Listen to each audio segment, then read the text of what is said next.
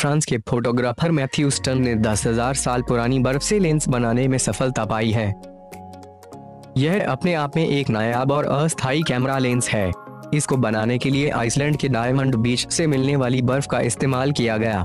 Matthew stun ने lens बनाने के लिए तीन बार प्रयास किया और चौथी बार में उन्हें सफलता हासिल हुई।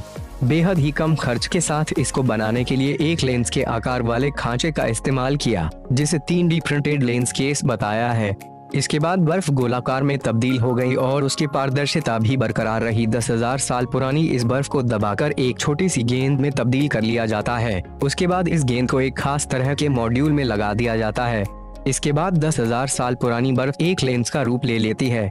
इसके बाद उसे डीएसएलआर कैमरे पर लेंस की तरफ़ फिट कर दिया जाता है। मैथ्यू स्टर्न इस कैमरे का इस्तेमाल करके कई फ़ोटो क्लिक भी कर चुके हैं। उन्होंने अपनी पत्नी की तस्वीरें लेकर यह दिखाया है कि यह लेंस कैसी फ़ोटो देगा।